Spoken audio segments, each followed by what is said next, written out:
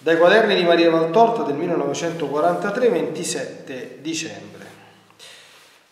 Dice l'Apostolo, Giovanni al piccolo Giovanni, dopo il maestro e la madre parlo io pure per darti un insegnamento spirituale.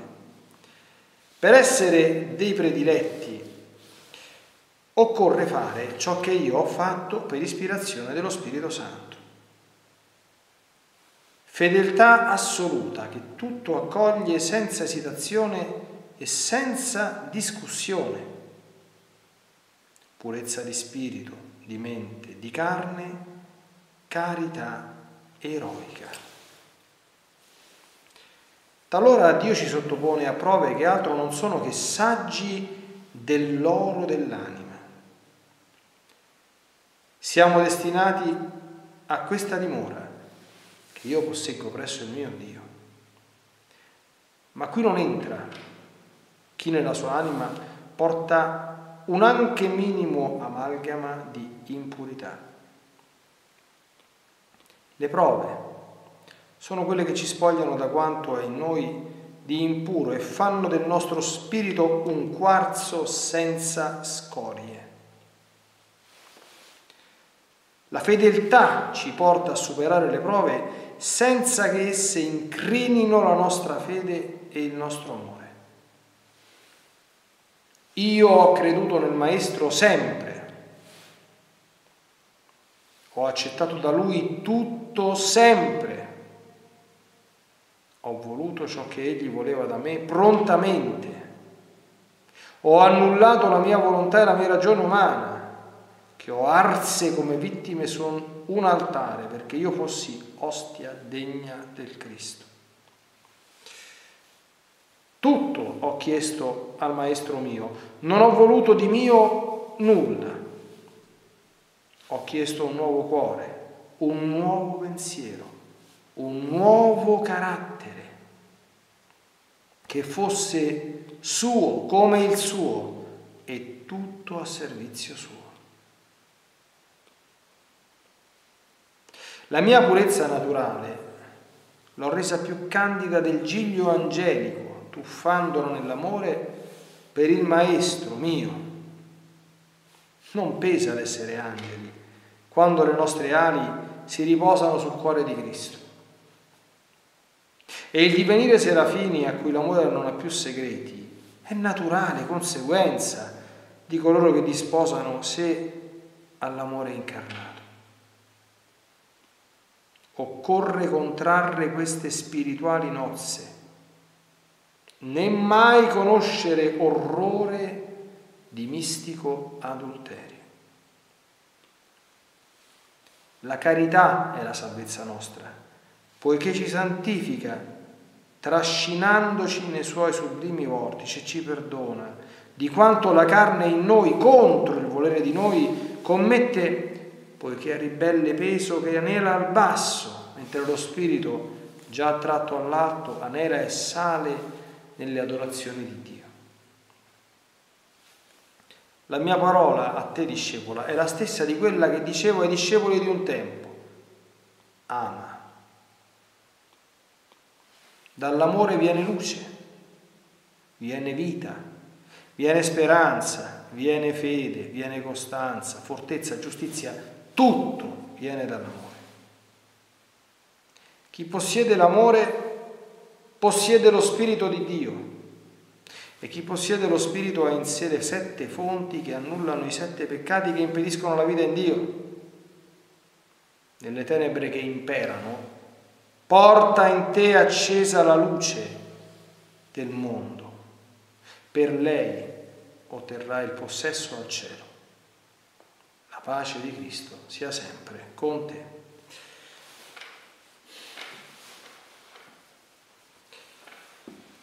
Quando ci sono dei passi molto molto belli è sempre per me un po' difficile, anche un po' imbarazzanti, dove, imbarazzante doverli commentare perché in parte si commentano da soli, quindi chi può avere l'impressione che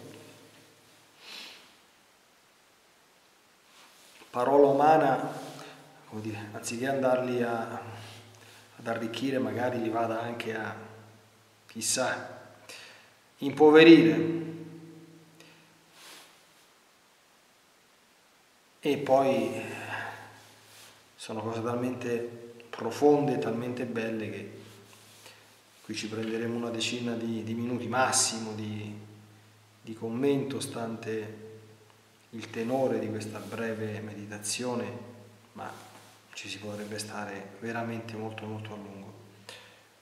Cominciamo dalla fine. Eh, molti sanno, forse anche voi, io tante volte l'ho detto parlando di San Giovanni, che eh, lui ha a quelle parole che gli disse Gesù, vi do un comandamento nuovo, vi amate gli uni gli altri come io vi ho amati, che in questi termini sono riportate solo dal suo Vangelo.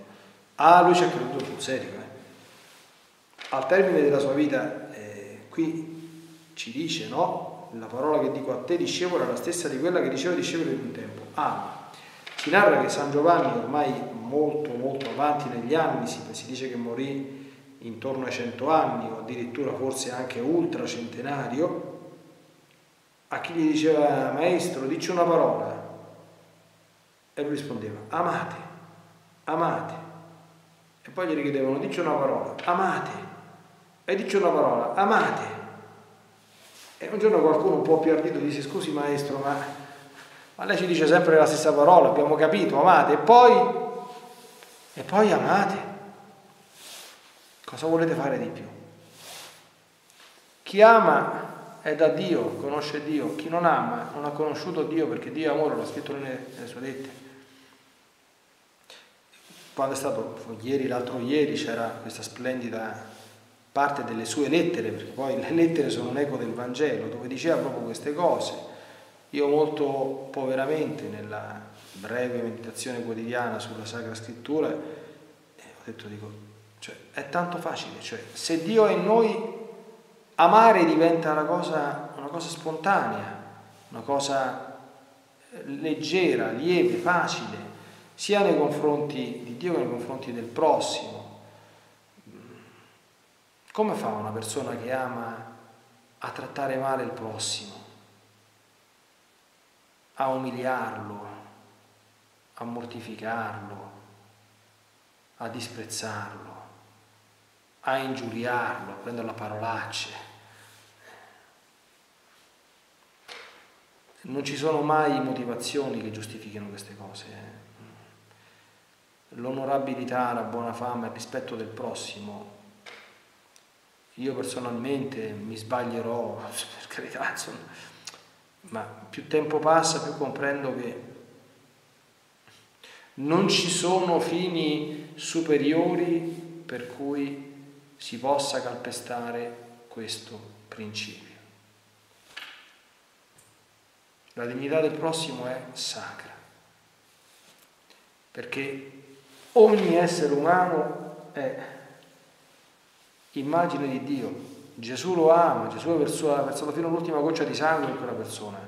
Cioè, quella persona è importante davanti a Dio, non è un nulla. Se quella persona si dannerà, secondo il nostro modo di pensare, possiamo dire. Nel film di Mel Gibson si vede quando Gesù muore quella lacrima che scende dal cielo e cade sulla terra e fa scoppiare un terremoto, no? La lacrima di Dio. Cosa piange Dio Padre? La morte del figlio sicuramente, così, sicuramente, ma oltre che la morte del figlio, la morte eterna di quelle anime per cui perfino la morte del figlio non li tira fuori dall'abisso degli abissi che è la morte eterna. E chi ama, chiunque veda, anche la persona più cattiva della, della terra, il pensiero che ha, certamente, non è di dirgli brava, d'accordo, di dire continua, stai facendo bene, io ce ne scampi, ma sempre di pregare per la sua conversione. Quello che fa la Madonna. La Madonna, abbiamo visto durante le meditazioni, la Madonna è proprio è la fotocopia creata, è lo specchio terzissimo, senza macchia di ciò che Dio è e fa. San Giovanni, perché Gesù ha dato la Madonna a San Giovanni? Perché San Giovanni era quello che meglio aveva compreso questo pensiero profondo, questo stile connaturale del Maestro. È quello che ci rende più simili a Lui, è quello che ci rende più simili a lei. Gesù era così. Ecco. Chi, come dire, imbraccia questa strada, ecco perché questa è Maria Valtorta, non è Luisa Piccarreta, no, ma la via della divina volontà, che è via dell'amore, è la strada più sicura che esiste al mondo ed è quella più divina perché è quella che ci rende più somiglianti a questi tratti. Allora, San Giovanni dice, guarda, per essere dei prediletti occorre fare ciò che ho fatto per ispirazione dello Spirito Santo. Qui i prediletti non sono i primi della classe, eh? cioè per, per far innamorare l'Altissimo perché l'Altissimo si può... Eh, come si autochiama Giovanni nel suo Vangelo? Il discepolo che Gesù amava, perché gli altri non li ama, no, certo che li ama, d'accordo? Ma il discepolo che Gesù amava, peraltro c'è quello verso cui si sentiva, cioè l'amore, noi diciamo che similes consimilibus, quello che sente delle affinità elettive, no? Cioè, noi amiamo di più le persone che, che in qualche modo ci, ci, rispecchiamo, che ci assomigliano, con cui condi, che, che, condividono il nostro modo di essere, di pensare, no? Allora, vogliamo diventare prediletti in questo senso, mi raccomando, eh, non in sensi fuorvianti. Allora Giovanni ci dà la via. Fedeltà assoluta che tutto accoglie, senza esitazione e senza discussione. Sta dicendo si fa quello che Dio vuole sempre dovunque e comunque, senza discutere, senza chiedere perché, senza indagare. Poi purezza di spirito, eh? di mente e di carne, non solo di carne, ma purezza di mente, quello a cui pensiamo, purezza di spirito o di cuore, si può chiamare in un altro modo, che è la purezza dei desideri, quello che noi desideriamo, quello a cui noi tendiamo. Le prove della vita, anche quella che stiamo vivendo, io faccio spesso riferimenti a cosa sono? Per noi saggi dell'oro dell'anima, vediamo quanto vali, vediamo come reagisci dinanzi a questa prova, come reagisci. Le prove sono delle benedizioni, non sono per noi delle maledizioni, perché sono quelle, cito, che ci spogliano da quanto è in noi di impuro, da tutte le scorie che ancora ci portiamo dietro, da tutti gli orpelli. Io ho conosciuto, ho sentito di persone che stanno vivendo anche la situazione, umanamente parlando, non gradevole che stiamo attraversando, come un, come un bellissimo momento che si ricorderanno come un momento di santificazione, non appaia una cosa esagerata o stravagante, cioè io ho conosciuto persone che stanno vivendo eh, il guaio e la, la, la, la prova della pandemia in questo mondo. Ci sono.